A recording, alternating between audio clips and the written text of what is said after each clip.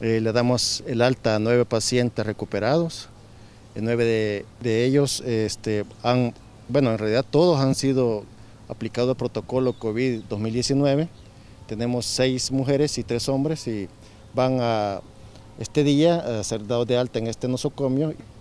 Eh, algunos de ellos han permanecido cuatro días, otros han permanecido ocho días. Ese es, más o menos el rango de los días de estancia intrahospitalaria en este nosocomio. Bueno, algunos de ellos venían en una condición bastante delicada, con saturaciones eh, muy por debajo del 80%, por esa necesidad de ingresarlos y darles el tratamiento de protocolo COVID.